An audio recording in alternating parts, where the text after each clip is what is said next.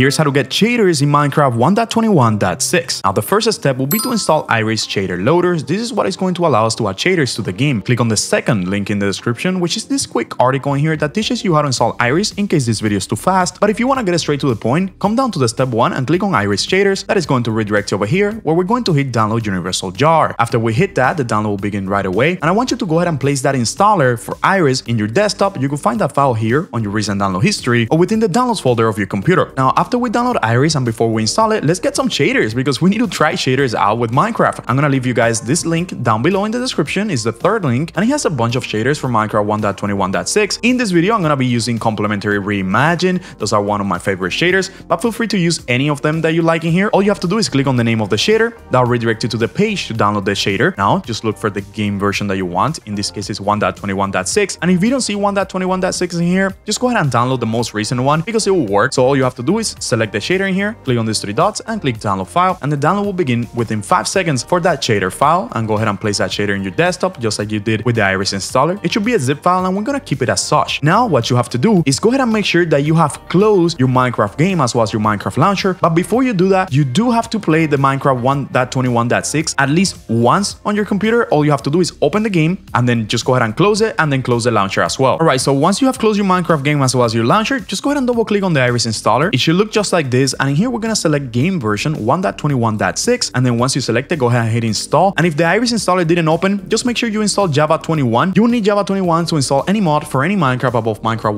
1.20.5. So 1.21.6 is no exception. Now, once you got Iris installed, it's gonna say completed in here. You could go ahead and close it out. And now you could delete the Iris installer from your desktop. Now go ahead and open your Minecraft launcher and I'm gonna show you how to add the shaders to the game. Once the Minecraft launcher opens, if you install Iris properly, you should see it selected here automatically. And you wanna go ahead and hit play. If you don't see it in here, you can find it on installations. Just make sure you have modded selected, right? Now go ahead and hit play. And if you get this prompt, read through it. And if you agree, hit over here and then hit play one more time. And while Minecraft opens, if you need a Minecraft server to play with friends, use the first link in the description and get 35% off for a limited time. Right now with Apex Hosting, you could play Minecraft 1.21.6 with any of your friends, as many as you want with Apex Hosting. And again, they're giving you 35% off for those of you using the first link in the description. Now, once Minecraft opens, just go ahead and launch a world. You could launch a single player or a multiplayer server. It doesn't matter. We're gonna be able to add shaders to both. And if you need a multiplayer server, again, use the first link in the description to add shaders to the game. For that, press escape, head over to options, head over to video settings, and then you're gonna see this menu here. All you have to do is head over to shader packs right here on the top, which is gonna put you in this screen right here. You probably don't have any shaders in here. I already have some shaders, but you probably don't have any. And all you have to do, guys, is go ahead and drag and drop those shaders that we downloaded earlier, like complementary or whatever shaders you downloaded, the zip file. Go ahead and drag and drop it into the game, and you will see the shaders appear right here. All you have to do now is click on your shaders and hit apply. Give it a couple seconds for it to load. Depending on your computer, it might take longer than me. And then once your shader loads, just go ahead and hit done,